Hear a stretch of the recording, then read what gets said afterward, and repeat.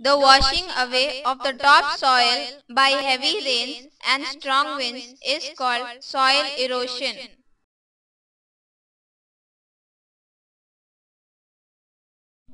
Soil erosion reduces the fertility.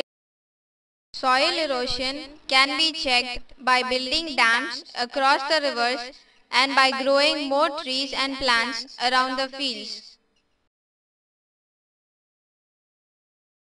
Preserving the fertility of the soil is known as soil conservation.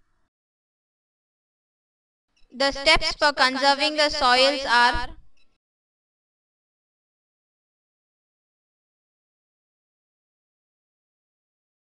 not to cut the to plant new trees to construct bunds around the fields to avoid grazing of cattle continuously in the same fields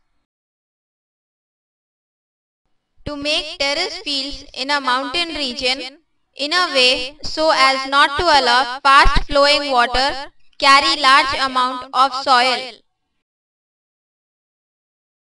To practice rotation by growing leguminous crops followed by other crops.